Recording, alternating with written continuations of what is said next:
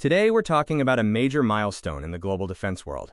After years of development, delays, and anticipation, Turkey has officially begun receiving its first new generation, indigenously developed main battle tank.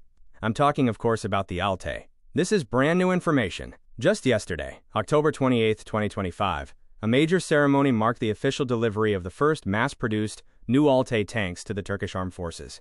This wasn't just a prototype rollout, these are the real deal, entering service right now.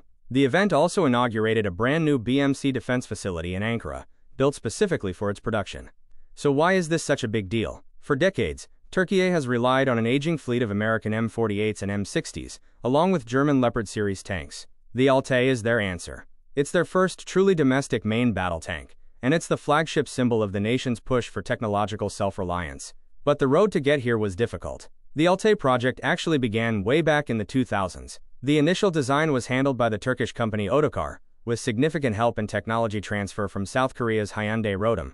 You might recognize them as the makers of the K2 Black Panther. But while Otokar designed the prototypes, the final mass production contract went to another firm, BMC. And that's when they hit a brick wall. The project faced massive delays. Why? Foreign components. Specifically, they couldn't secure the engine and transmission from their original suppliers. This setback, however, became the project's defining moment. It forced a massive domestic effort to develop indigenous subsystems. The tank being delivered today isn't the original Altay, it's the new Altay, packed with Turkish-made systems born from that necessity. By the way, the tank is named after Army General Fahrettin Altay, a celebrated cavalry commander from the Turkish War of Independence. Alright, let's get into the specs. What is this new machine? The Altay is a 65-ton, fourth-generation main battle tank.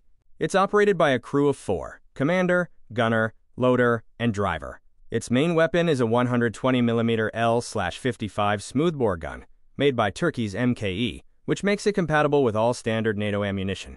But the engine situation is the most interesting part. This first batch being delivered, the Altay T1, is actually powered by a 1,500 horsepower South Korean engine. This was the solution to get the tanks off the assembly line.